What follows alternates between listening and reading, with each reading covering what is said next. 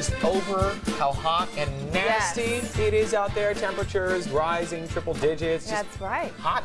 Dad. It's annoying. In this annoying. morning's wake up call, Larry Himmel's finding ways to chill out. Hey, good morning. Happy Friday. This is your wake up call. You know, guys, all week long, people have been looking for creative ways in San Diego to keep cool.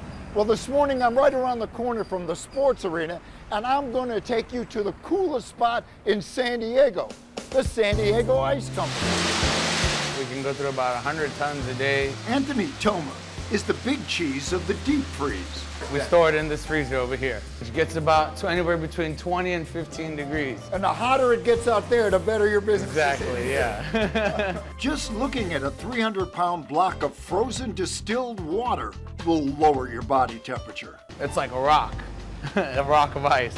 I really want to get cool. It's been a long, hot week. Can you cool me off? I can cool you down. So, take me to the coolest spot on earth. Well, I want you to sit right there then. Sit right here? Yep. Okay. I'm ready.